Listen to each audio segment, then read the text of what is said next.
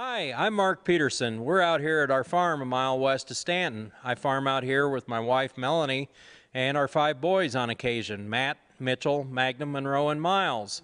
What I really want to do today, I'm on the board of the Practical Farmers of Iowa and we're promoting cover crops real heavy, and I'd sure like to take you out in the field and show you a few of the cover crops we got growing here. Okay, here we are out in the field, our first spot where we put on cover crop that I'd like to show you today. Here we have cereal rye that was put on with a helicopter and we got an inch of rain that night so it was a real beneficial time to be putting out a cover crop where you're going to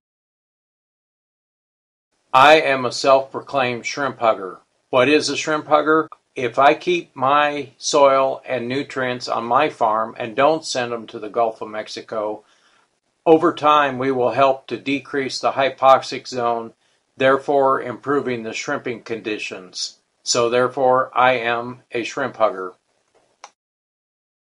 This is the farmer version of A Night Before Christmas. 'Twas the morning of Christmas, and all across the farm Not a creature was stirring, they were safe from all harm. The puppies were nestled, all safe in their bed, While visions of breakfast danced in their head. I in my winter coat and old windsuit pants Went out for a walk, thought I'd give it a chance. I walked down the road with hardly a sound, Mainly the crunching of snow as my feet hit the ground. Out this glorious morning surveying the field, I couldn't help wondering what next year would yield. Then what to my curious eyes did I see? Green blades of cover crop staring at me. Then more through the snow did start to appear. Cereal rye, a cover crop on our farm this year. So again this winter, as I survey our farm, I know it's more than our creatures that are safe from all harm.